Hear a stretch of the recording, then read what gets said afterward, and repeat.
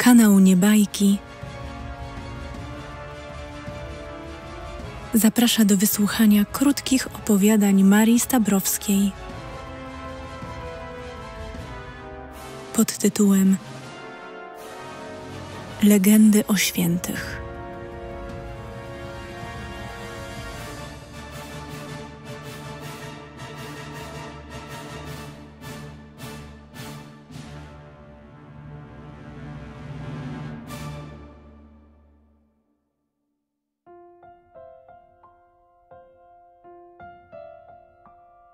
Święty Piotr Męczennik.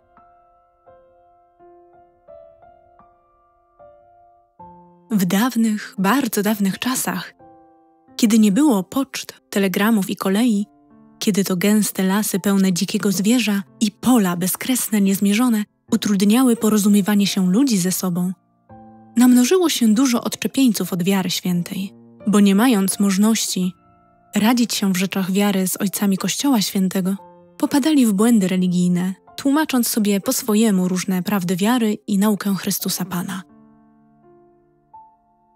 Kościół katolicki tępił, gdzie tylko wiedział o tym, te fałsze i błędy.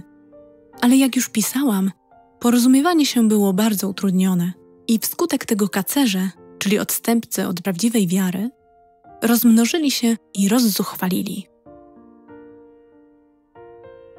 Święty Piotr Męczennik pochodzący z miasta Werony, poczuwszy powołanie na misjonarza, poświęcił się służbie Bożej i oddał się nawracaniu kacerzy.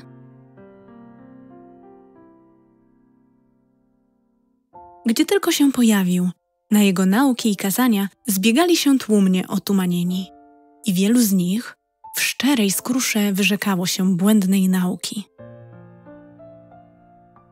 Znienawidzili go przywódcy heretyków – i starali się mu przeszkodzić w jego pracy. Słysząc o cudach, jakie czynił, uzdrawiając chorych, postanowili go ośmieszyć, osłabić wiarę w jego świętość.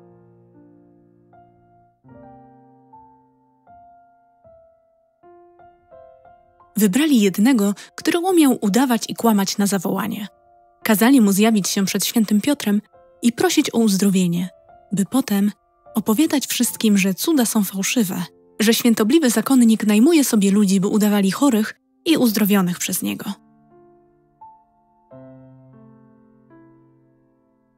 Gdy święty Piotr, stojąc pod drzewem na wzniesieniu na placu publicznym, głosił naukę Chrystusa tak, jak ją podał za pośrednictwem apostołów sam Pan Jezus, zbliżył się do niego człowiek, skulony, trzęsący się i słabym głosem prosił świętego o zmiłowanie się nad nim – i uzdrowienie go.